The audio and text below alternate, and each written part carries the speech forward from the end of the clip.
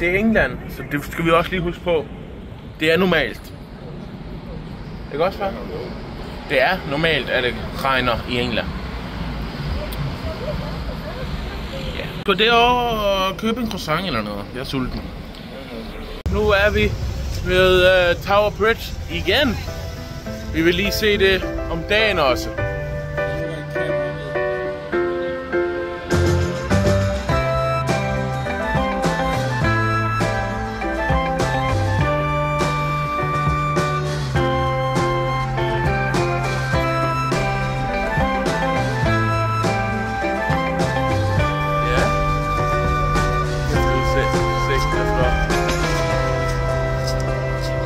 7, MI6 presented.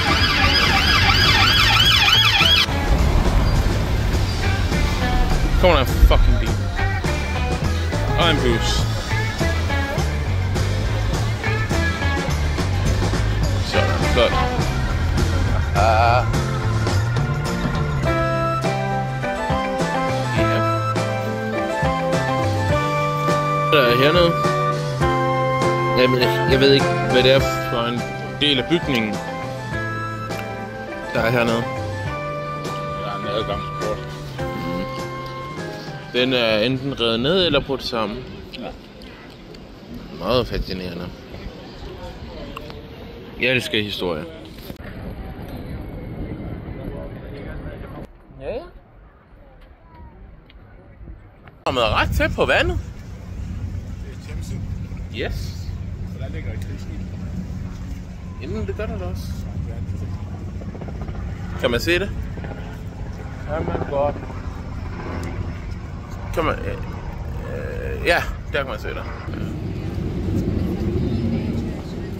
Øh, Så det her er altså Thamesen. Det er ikke særlig ren. Man skal ikke svømme i. Nej. Og her ser vi Tower Bridge. I sin helhed. Den har vi gået over. Hey, vi går stadig ned ved Thamesen. Og øh, vi er på vej hen til Big Ben. Og øh, vi regner med, at vi kan gå hele vejen langs med Thamesen hen til Big Ben. Det er i hvert fald det, vi håber. Kan. Men det er en lang gåtur. 5 km. Ja, 5 km. Så ja. Så den tager jeg lige... Jeg er med på et lille stykke tid. Rigtig nok.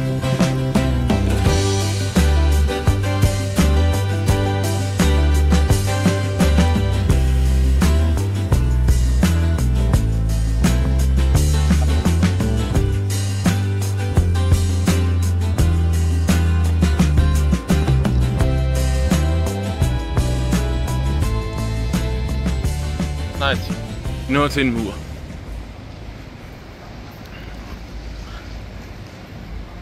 Hmm. Måske kan vi gå den vej nedad. Ja. Yeah.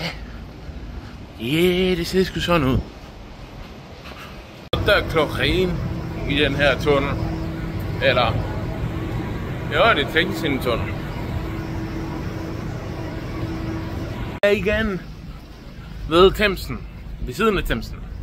Og der er en skraldebåd. For det lugter i hvert fald af skrald. Jo. Jo. Ad. Og det så faktisk ved at lugte op virkelig dårligt. Jeg tør ikke engang trække vejret igennem munden, for jeg er bange for, at jeg får et eller andet mærkeligt, som ingen kender. Jeg er en ny virus. Så lukker hele verden ned igen. Det skal vi ikke have. Det lugtede i hvert fald sådan. Fandme, vi har fundet en Harry Potter lokation for en af filmene, hvis jeg ikke tager meget fejl, altså. Prøv at se den der bro der. Den er jeg temmelig sikker på, er med i en af Harry Potter filmene. Hvis jeg ikke tager meget fejl, så er det altså episode 6. Eller film 6. Mener jeg, ikke episode 6. Men film 6 i hvert fald. Jeg mener det, den. Det skimte London Eye. Er den der bro igen? Ja, vi tæller på den. Ja. Og jeg er temmelig sikker på, at det er den bro for Harry Potter film 6. Den styrer der sammen i filmen. Det er jeg temmelig sikker på. Ja. Um, nu er vi faktisk lige er inde på Harry Potter og sådan noget. Det, um, det var planen, at vi skulle have taget til uh, det der Harry Potter studio i morgen. Men uh, vi kunne ikke få nogen billetter til. Til det. Det viser at man skal bestille sådan tre måneder foran. Og det gjorde vi ikke. Vi troede, vi kunne møde op og købe nogle billetter. Det kan man også normalt. Men lige søndag udsolgt. Ja. Det burde vi næsten have sagt os selv, fordi Ja. søndag, ikke? Der, ja. Så det er lidt nederen, men øh, vi kan jo heldigvis se King Cross Station, hvor der er en Harry Potter store shop uh, something. Um, ja, så den vil vi i hvert fald se, men det bliver senere i dag, tænker vi. Ja, når vi kommer op i byen. Ja, og nu begynder det at blæse lidt. Ja, dejligt. Det køler lidt ned. Ja. Det var stejende varmt de sidste par dage. Nå, det er dejligt. Rigtig dejligt. Der er limecykler, som jeg tænkte at bruge nu, til at komme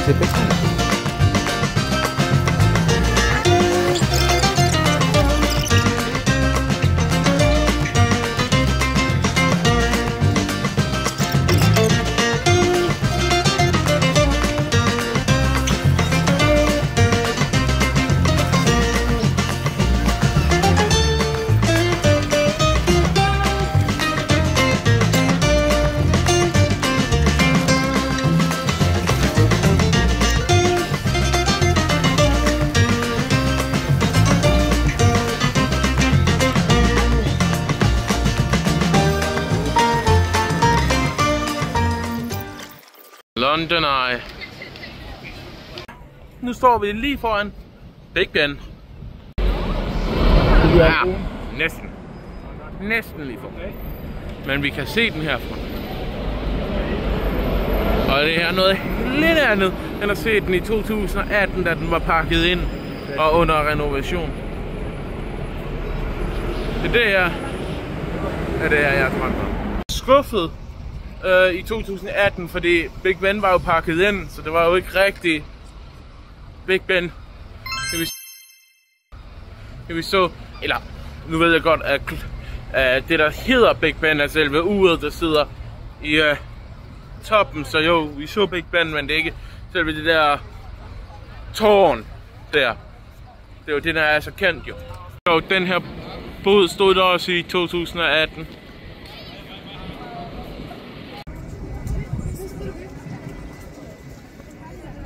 Vi skal lige genskabe et billede, vi tog i 2018.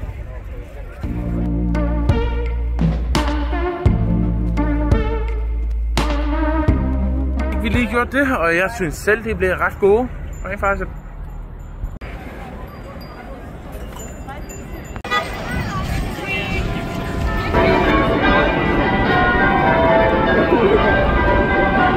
Vi til, øh, hvad er det her kaldt for? Uh, Victoria Station. Okay.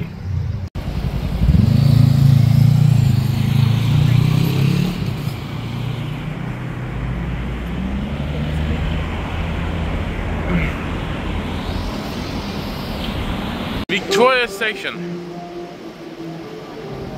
Køb den her is her. Så ja. Lad os lige smage den.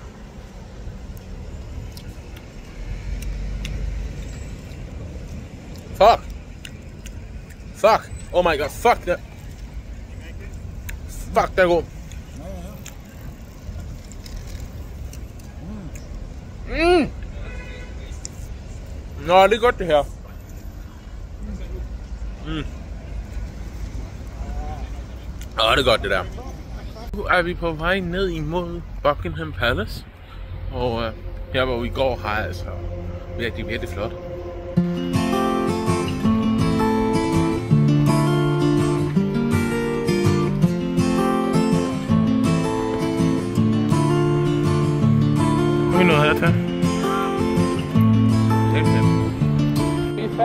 Buckingham Palace. Også den der. Wow.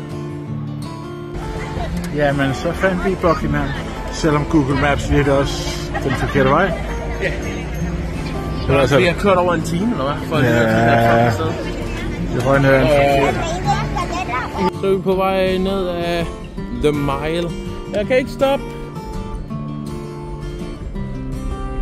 Far er stoppet. Jeg tør ikke at stoppe med. uh, ja, jeg triller bare. Jeg triller bare. Jeg triller bare. Jeg triller bare. Ja. Jeg er nu kommet til, uh, til Falker Square, og øh, det her er også en af de steder, vi var i 2018. Og øhm, der er ikke sket meget, det ligner sig selv, men det er meget sjovt at se igen. Ja. Det der er nyt. I 2018 kan jeg huske, at øh, man måtte klatre op på løverne, man måtte sidde der og alt muligt. Det kan jeg så se, det må man så ikke mere. Ja synes jeg er lidt nederen, for jeg mener, vi har et billede fra 2018, hvor jeg står op af den der løve der, eller en af dem i hvert fald, så det er jo sådan, at vi kan genskabe det billede. Det er lidt nederen. Vi tog også et billede med det her sprængvand i 2018. Det skal vi også lige genskabe, tænker jeg.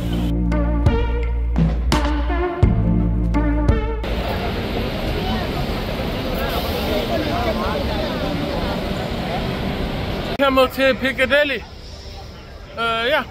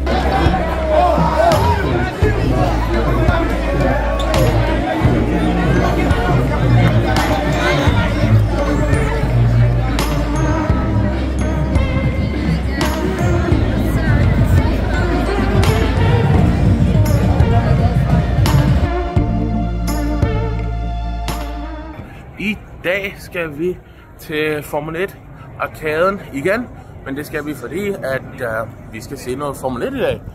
Ja, der køres race i dag. Yes. Det er Og- race weekend, så, og det, det sender de live i uh, arkaden. Så Ja. det skal vi se. Så hvorfor ikke? Så er der ikke noget bedre sted at tage ind og se det, end uh, Formel 1 arkaden. Been to like uh, Hamburg, Amsterdam and uh,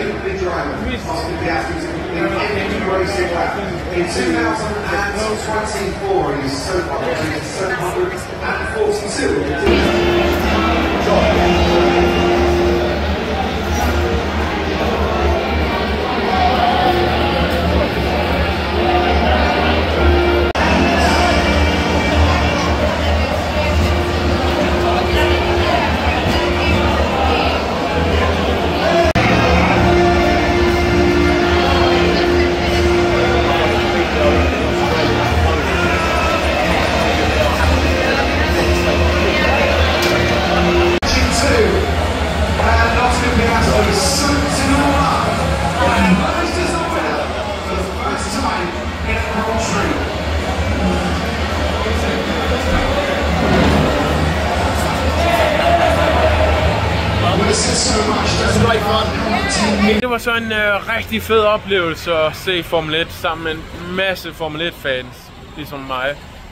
Øh, må indrømme, er lidt skuffet over øh, løbresultatet. Ja, det var synd. Det var ikke Max, der vandt. Nej, en femte plads, var ikke spørgsmål. Ja. Jeg synes, Lando skulle have vundet det. Også det er. Ja, men han, øh, ja, han gav så Oscar lov til at vinde det i stedet for. Ja, det fik han besked på. Gør. Ja, ja, Jeg synes, det var noget skidt. Han havde fortjent at vinde, sådan som han kørte. Ikke? ja. Så det, det var ret nederen. Men øh, ja, Men det er jo øh, holdpolitik og masse shit. Ja, ja. men det er en del af sporten, ja sådan er det. og det er derfor, vi elsker den. Men det var kanon oplevelse at se det.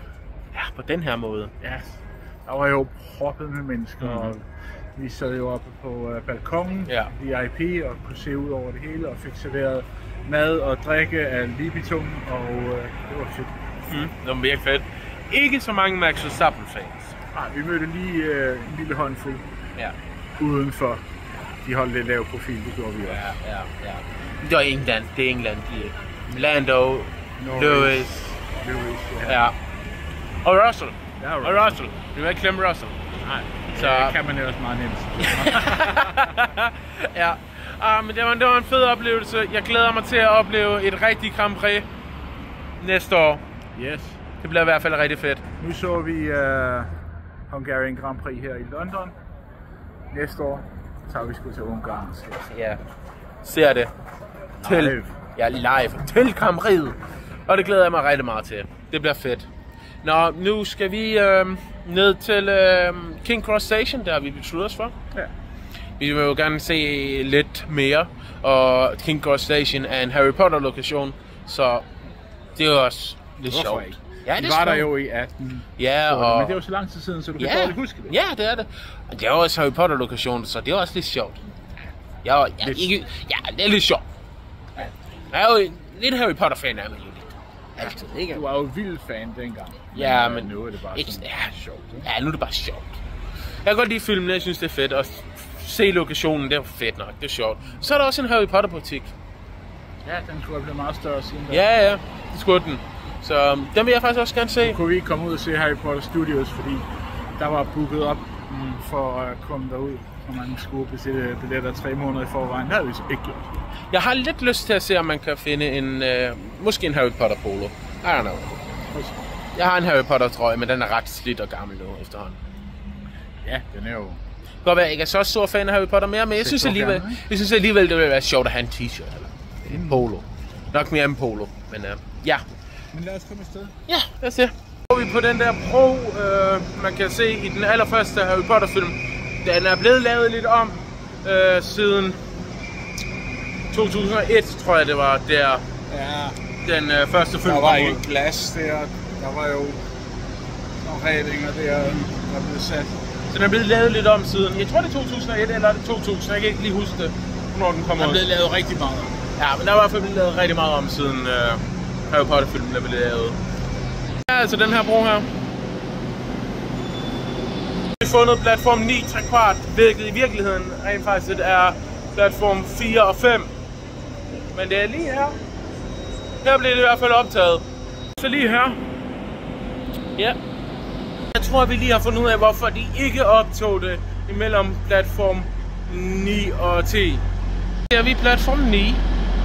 Og derovre er øh, platform 10. I kan se det. Der er sgu skinner imellem dem. Er vi ude foran King Cross Station. Ja. Så har vi taget videre fra King Cross Station. Og øh, ja, nu er vi her. Ja, Oxford Street. Yes. Øhm, jeg ved sådan ikke kigger vi rigtig, bare. ja, jeg ved ikke rigtig, hvad vi skal lave. Måske finde noget mad, og jeg begynder at blive lidt sulten. Det gør vi. Ja. Så det gør vi nu.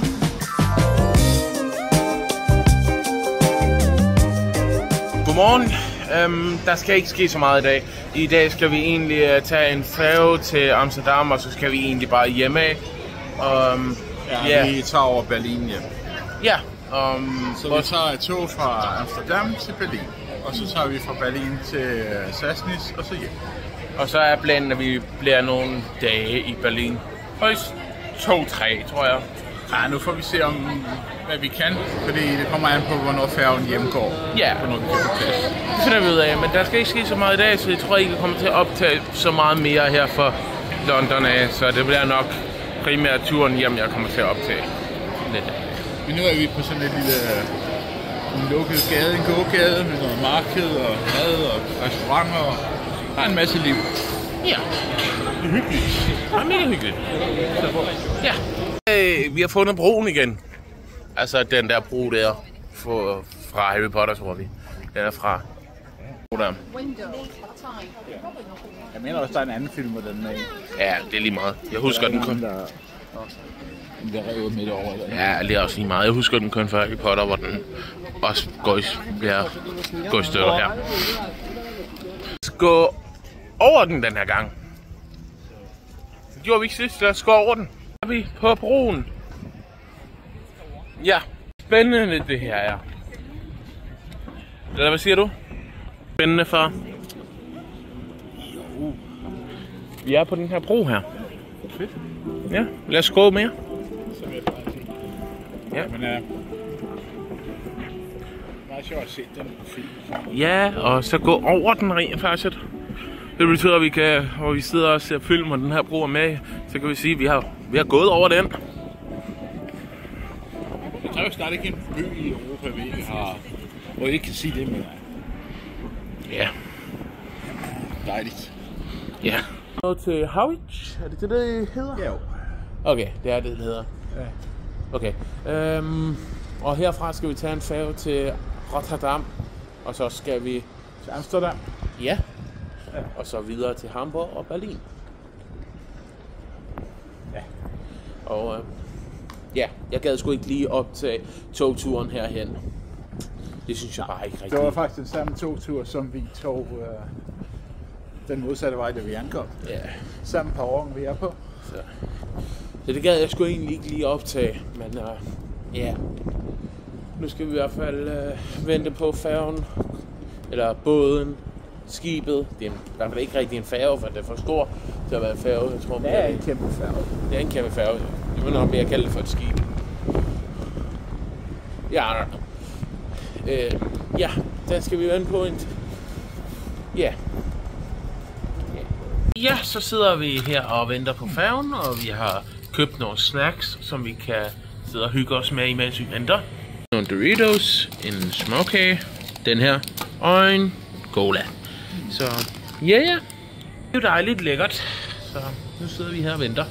Så ja. Lad os lige se, hvordan den her smager.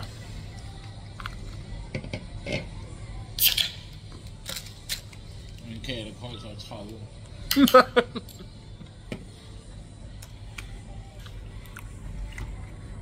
Den smager ikke dårligt.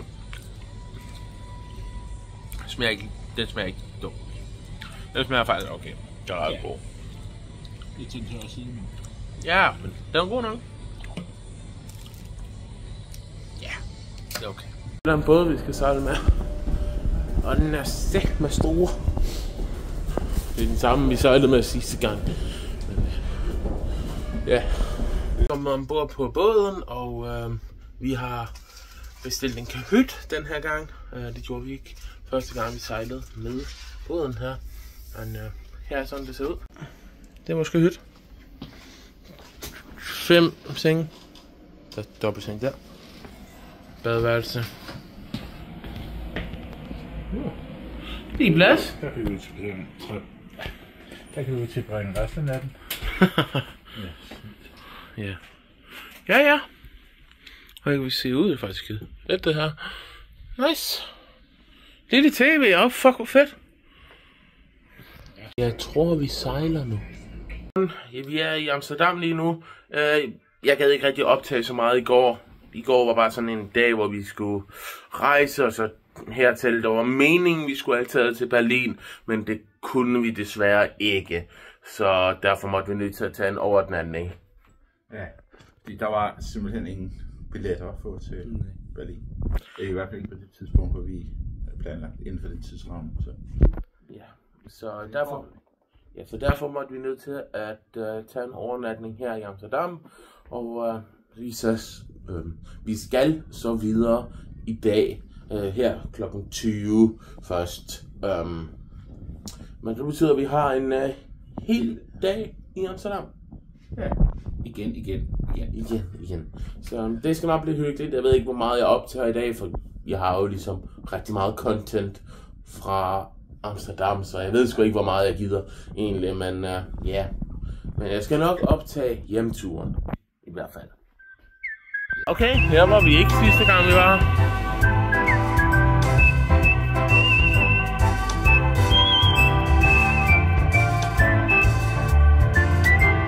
Er pisse flot. Og vi venter på øh, den bus, vi skal med, som der vil tage os øh, hjem til Danmark. Så ja, det står vi og venter på lige nu. Og far ruder i min rygsæk øh, og leder efter vores pas. Yes. Ja, Rundt det hele. ja. Så Ved du hvad der er meget sjovt? nej. Det er den chauffør, der kørte os herned. Fra Hamburg. Han, der kører os hjem til København. Fuck, hvor fedt. Han kunne huske os. Nå, fedt. Så ja. Nice. Han kom lige forbi før. Øhm, vi skal hjem nu. Det bliver dejligt. Jeg føler det her er kaos med alle de busser, mand. Og hvad siger du? Jo. Det er jo et stort kaos. Nå, okay. Ja. Uh, på engelsk kaldet for Chinese fire drill. Hvad? Det er jo kaos. Hester løber rundt og råber og skriger, og ingen ved, hvad fanden der foregår. Hvor vil han prøve at få den der hen? Sådan ser det ud i hvert fald. Ud under mig, der er et system i det alligevel. Nej, han kan ikke få den ind der. Han kan ikke få den ind der. Kan han så... Næsten. Ja, vi sidder i bussen lige nu på vej til Danmark. Ja, klokken er kvart i 11, så... Ja, det er en 12 timer tur. Så det skal nok blive rigtig, rigtig sjovt.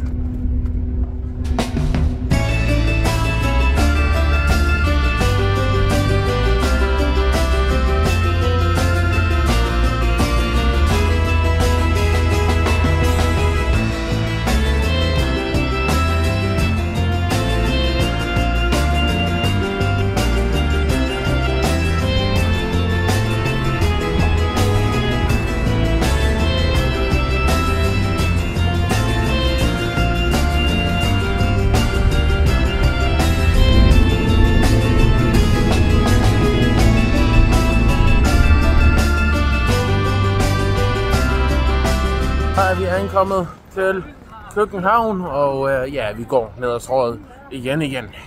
Ja. Det var en rigtig lang bustur. 12 timer. Ja, yeah. Ret op og ned i sædet. Det er noget andet, end når vi plejer at tage toget. det gør vi aldrig igen. Nej. Aldrig igen. Der kommer han. Okay. Der kommer en lastbil. Og en varevogn. Og en almindelig personbil. Ned ad strået. Ja, det er, en tysker, der falder hat af noget som helst. Ja. Ja, men uh, så skal vi hjem her klokken Ja. halv ni med bus igen. Ja, men det er ikke en så lang tur den her gang. Nej, lidt mere komfortabel bus endnu. Ja, det er det faktisk. Så. Ja, vi har nogle timer, vi skal tilbragt her i København. Så. Men jeg ved ikke, hvor meget jeg gider optage, for jeg har ligesom rigtig mange København øh, vlogs fra København, nemlig. Så Ja, så spændende er det sgu heller ikke. nej. Jeg kan optage lidt her og der, men altså... Jeg gider sgu ikke rigtig. Egentlig, der er ikke så meget at optage. Jeg har så mange vlogs herfra. Vi har set det. Ja. Så nu går vi bare rundt og hygger os. Jeg laver en opdatering øh, på i Combardo-bussen. Face. Jeg sidder lige nu og venter på bussen. Så, ja, det er hyggeligt. Jeg har ikke så meget mere at sige.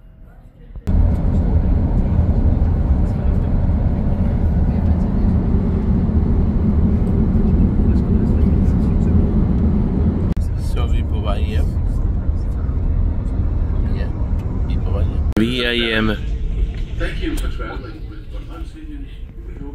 Næsten hjemme, ikke far? Vi mangler bare at få lavet færgen.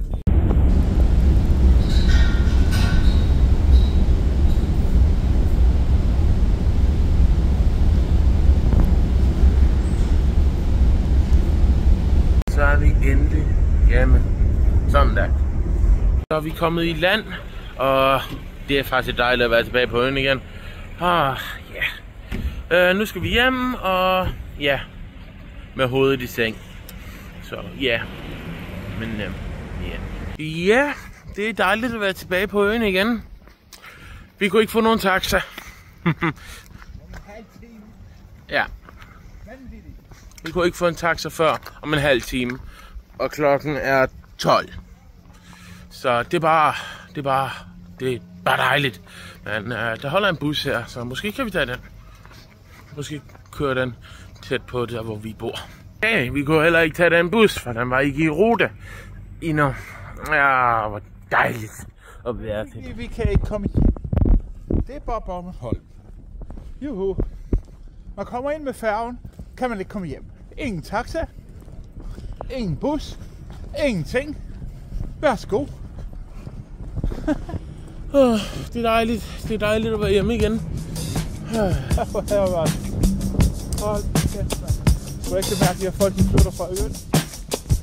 Nej, det er det ikke. Det er det faktisk ikke. Nå, men øh, vi må jo bare gå hjem. Oh my god. Det er dejligt at være hjemme.